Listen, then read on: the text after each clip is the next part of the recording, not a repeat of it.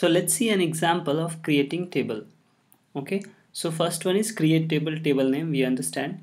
Now I have tried to accommodate uh, so many attributes and uh, all the constraints possible. Okay? So first one is EID so EID will be acting as primary key. So what I'll do is okay prime EID will be primary key and that that's why it has to be written with the constraint not null. Okay? That is this key cannot be null right? You understand this? Fine. So this is not null. Fine. Now the next one is name and the data type is var 15 fine. And again this this is also not null. For sex we have default value as m okay? And I mean if the for a record we are not specifying what is the sex it will automatically set m as sex value. Now we have department number and that will be small int okay? And this department is basically foreign key. So we are specifying here department is foreign key fine.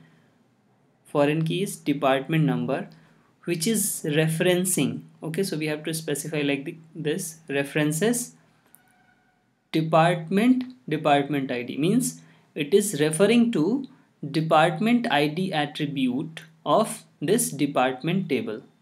Okay? Fine. Now on delete uh, of course the primary key we are specifying is primary key is eid okay? So eid is primary key. Now what we are doing is on delete on delete as we have foreign key here okay so we have to specify what will happen if we are trying to delete this attribute value. Fine. So on delete it will set as set the value as null. And if we are updating so if we are trying to update this value it will cascade it okay. So we have this employee table. This is employee which we have just created and we have department. So let's say this is department okay? And now this is id department id dep id and this is name. Fine? And here this this department id is referring to this. Fine? Now if i am updating let's say id1 is CSE fine? If I'm updating this value CSE then update will be cascade. So let's say here for a record we have 1 fine. And this is referring to of course this value. Now I'm updating for CSE I'm updating 1 to let's say 11 then update will be cascaded.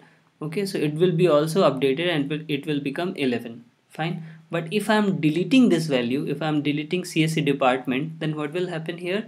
It will assign this field as null. Okay?